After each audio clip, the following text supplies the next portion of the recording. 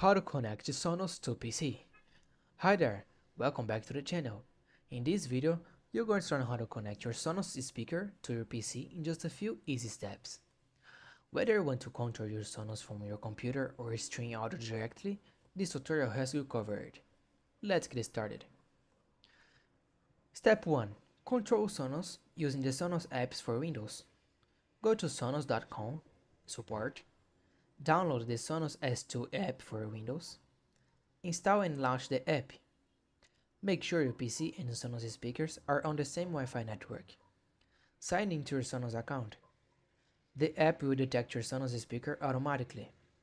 You can now control playback, add music services like Spotify, and adjust settings directly from your PC. Step 2. Stream PC audio to Sonos. Option A using a model with Line In. If you have a Sonos 5 or a Sonos port, plug an AUX or RCA cable from your PC into the Sonos input. In the Sonos app, go to Browse, Line In, and start playing audio from your PC. Option B. Stream via AirPlay 2. If your Sonos supports AirPlay, like Sonos One, Beam, Arc, Move, or Roam, Use software like Airfoil or Stream What You Hear to send the PC audio wirelessly to your Sonos.